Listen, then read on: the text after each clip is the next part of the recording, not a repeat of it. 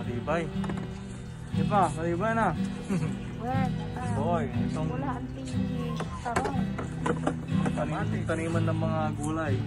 Maggagawa kami ng ano namin, gulayan sa garden ni Mama.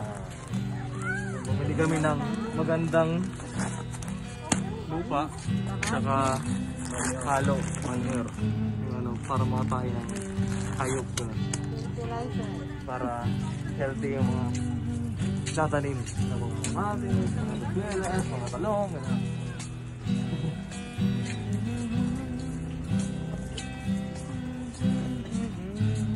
Kami po. Kaya tingin na. Tanti kamate. Tanti kamate. Halapin yun eh. One, two, three.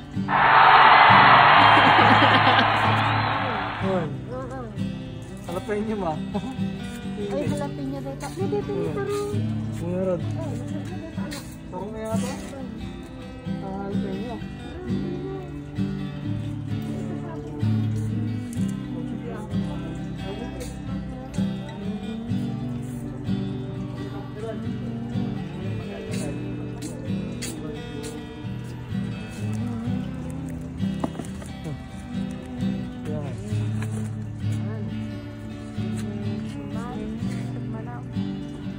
Pwede tarong.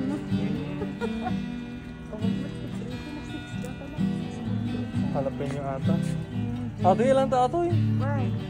Na. Why? May sumat lang si Priso na kapaliyaw niya.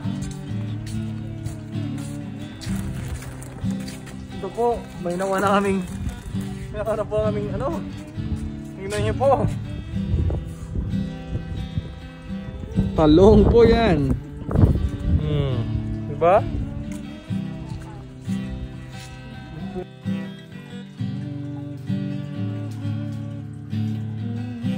Ayan po meron na tayo cilantro saka oregano po to pero Italian daw eh, Italian oregano eh. Iba yung oregano natin sa Pilipinas.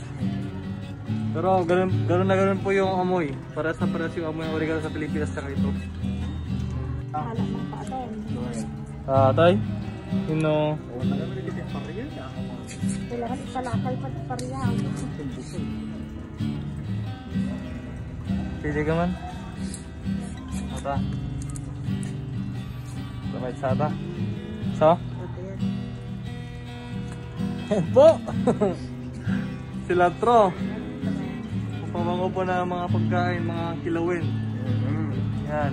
Paggawa rin po ng Indian food yung biryani. Mga curry, ganun. So, yan po. Meron tayong repolyo. Oha. Yan.